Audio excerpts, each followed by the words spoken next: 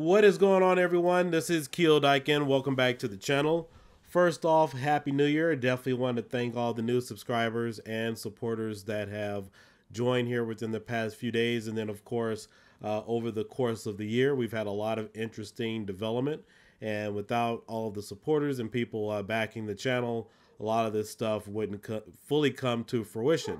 But uh, today's video, I want to give you guys an update in regards to what's going on with Raspberry Pi 5 uh, emulation and uh, development.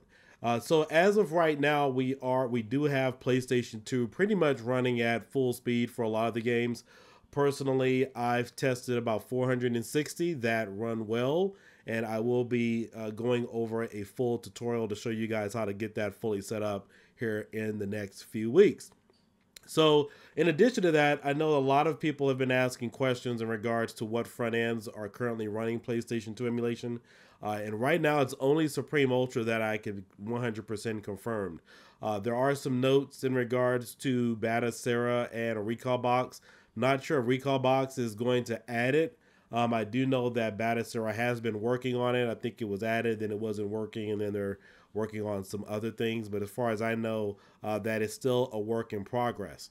Uh, the reason why I bring this up is because there's been some talks or conversations within the community, and it seems that you know no matter how many videos we upload, people still seem to think that it either doesn't work or they must be getting their information from somewhere else. But uh, obviously, those of you follow this channel and then also take a look at some of the raw footage that has been uploaded to Arcade Media and also follow some of my Facebook groups that I run, uh, then you are pretty much aware of the situation and that things are running pretty decently uh, as far as what I can say.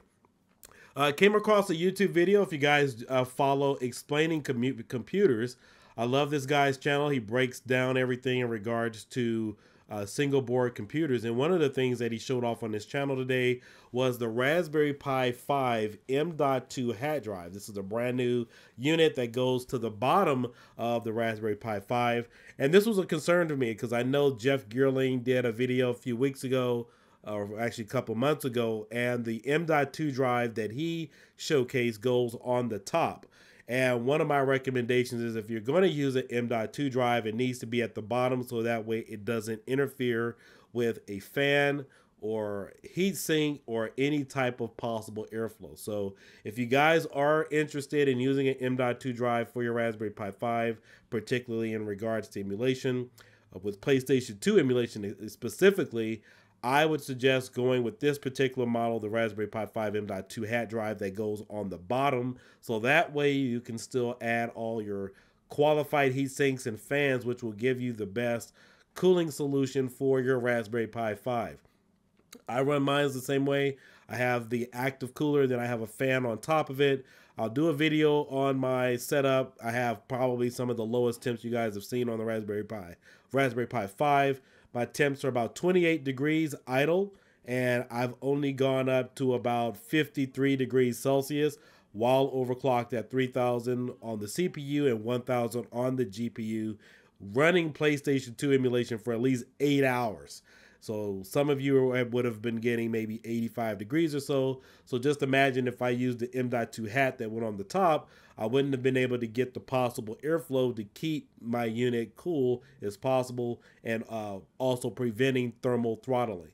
Some additional news that we also want to cover is I know there's been some misinformation going on about images and PlayStation 2 emulation. So as of right now, the only team that I know that has PlayStation 2 emulation on the Raspberry Pi 5 running at a acceptable rate that runs pretty good is the Supreme team.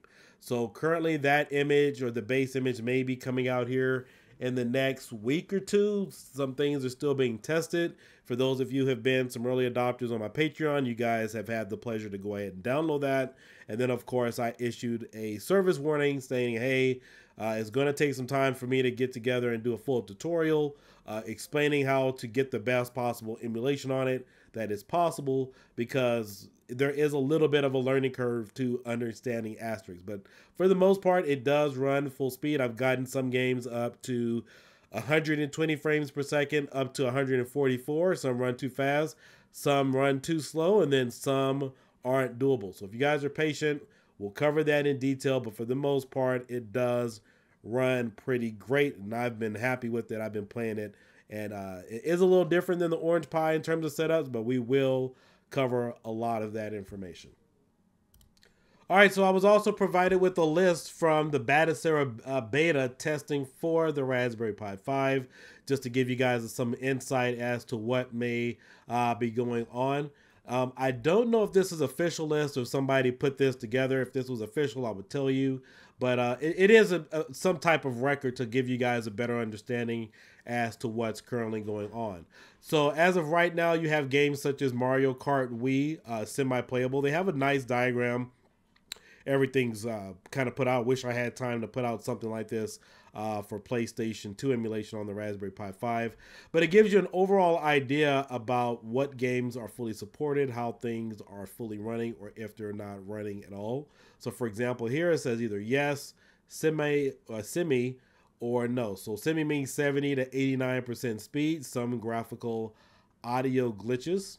So, it looks like they have a lot of games here on uh, the Wii, Dreamcast, and different systems that are either running full speed. Uh, Resident Evil 4 GameCube. Now, I haven't tested this out on Supreme Ultra for RetroPie uh, to see if this even works. So it looks like they have some issues there with Vulkan. But this is just a nice uh, little uh, spreadsheet here that kind of puts everything in perspective for you to give you an idea about what uh, you could possibly run. Been getting a lot of questions asking, is the Raspberry Pi 5 worth getting. And yes, it is. Um, especially if you are going from the Raspberry Pi 4 4 gigabyte model to the Raspberry Pi 5 4 gigabyte model. Uh, reason why I say that is that there's only a $5 increase, not factoring in the heat sinks or active cooler that you need to get. But the Raspberry Pi 4 5 uh, the Raspberry Pi 4 4 gigabyte model is $55.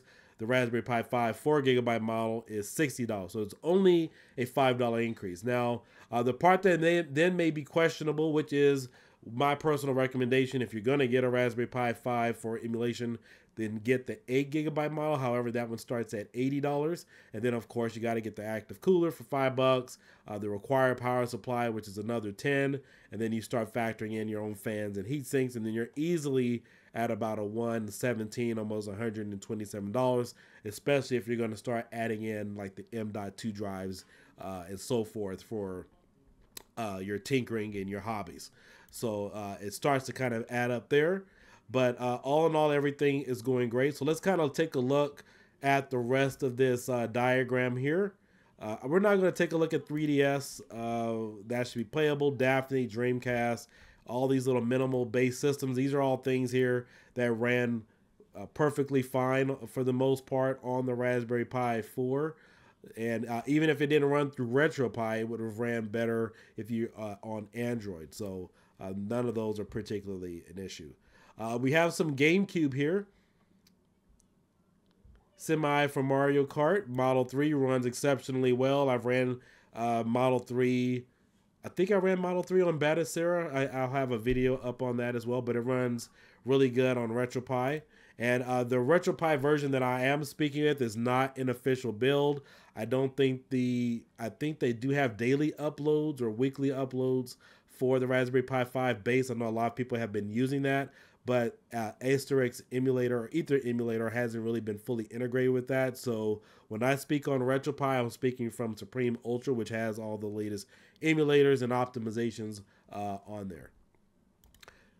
Nintendo DS and PlayStation 2. So as of right now, uh, again, if this is the official one, then PlayStation 2 uh, hasn't been fully compatible. I know a few months ago, Lee PSP posted a video and nothing really launched from Batocera with PlayStation 2. I think they were using the PS was it PS1 or PlayStation uh I can't remember the actual name of it, but that particular emulator for Batocera and my personal opinion, uh, that's not optimized for single board computers. That particular emulator uses two cores. It does not even see the full entirely full entirety of the board. So you're not going to get the best possible solution using that emulator on a single board computer. Uh, that one is more geared to PC, which is why Asterix or Aether emulator, I'm sorry to say, uh, is the better of the emulators for PlayStation 2 if you're going to emulate because it uses four bit cores. And uh, I know the project was dis- discontinued, so it's not going to have additional support in terms of an actual core being fed into RetroPie for uh, RetroArch emulation. But it's all we got, and uh, I'm I'm happy with it. Took me a while to fully understand it for the Raspberry Pi 5, but uh, that will give you the best optimizations for PlayStation 2 gaming on the Raspberry Pi 5. So uh, that's pretty much a lot of the updates going on right now. Just wanted to make this video, let you guys know we definitely appreciate all of the support. Uh, PlayStation 2 emulation is definitely running pretty good for the most part. I'm about 460 games in that all run at acceptable rates, if not, you know, faster than what they should be. I'm happy with it. So you guys should definitely be pleased with that. And again, I can't say this enough. If, if it was not for the Orange Pi 5 with the RK3588 chip and the Rock Pi 5, we would be months behind in development because uh, we added it to that. And then, of course, uh, we had other members in the community like uh, Pi Maniac who brought in, in brought in his expertise in terms of how to emulate PlayStation 2 and get it uh, to run better on a single board computer going through some of the different settings and so forth. So uh, that's where we are. Just definitely wanted to kind of clear up some confusion for those of you wondering if it was available or if it's going to be possible. And please keep in mind too that we are community members. A lot of this stuff is our hobby for free is not personally guaranteed. I know some of you may be looking for the likes of, let's say, your V-Mans, your Wolfenoses, and other people like Demossels or whatnot to put out an image. But please keep in mind that these are hobbyists. These are people doing this stuff on their own free time. There's nothing guaranteed. Nobody's guaranteed to put out anything. This is the stuff that we fully commit to uh, for your enjoyment. And so I know a lot of times people will say, hey, when, when is that retro pie image coming out? And there's sometimes that feeling of uh, like there's like a requirement for it to come out where it's just a freely uh, given hobby. So that's pretty much all what's going on right now. Uh, there are images ready. I think you'll probably start seeing some more images that are coming out within maybe midway to January, probably closer to February. And then I can't speak of some of the other teams like Recalbox or Batocera uh, in terms of what they may have coming out. Uh, I can't really speak on that. But uh, for the most part, things are you know moving ahead in a I would say in a in a good direction, and some things just won't get any better. Uh, they're just going to be you know what they are because of you know device limitations and so forth. But uh, for the most part, as of right now, I'm really impressed with how the, the optimizations have been on the Raspberry Pi 5, especially considering that the Orange Pi 5 is a 3588 chip is a much more powerful board. In fact, you will get, as of right this very moment, you will get better Nintendo Wii and GameCube emulation on the Raspberry Pi 5 uh, compared to the Orange Pi 5. It's much better on the Raspberry Pi 5 compared to the Orange Pi 5. And that's only because of the additional driver updates and video updates that they keep adding. Sometimes there's like 50 freaking updates a day. And I know we've released the beta image. If you guys have subscribed to my Patreon, you guys have that, but there's even more updates coming down the pipeline. So it would have been really nice to see what type of driver availabilities would have been for the Orange Pi 5, but that community doesn't get that type of support, or even the Rock Pi 5 doesn't get the kind of support as the Raspberry Pi uh, community. So uh, if you guys have any questions, please like and subscribe, hit the notification bell. Wanted to get this video out, thanking everybody for 2023 as we go into 2024. Uh, we have some more developments that will be coming. Please just be patient. Again, free community members just trying to help out and have fun in that type of regard. And uh, this is going to just be uh, really interesting. So, uh, yeah, I mean, that's pretty much it. You guys all have a great, happy new year. Be safe out there. I will catch you later. Got some more videos coming up for you to keep you guys entertained and informed about what's going on here. You guys have fun out there. Peace out.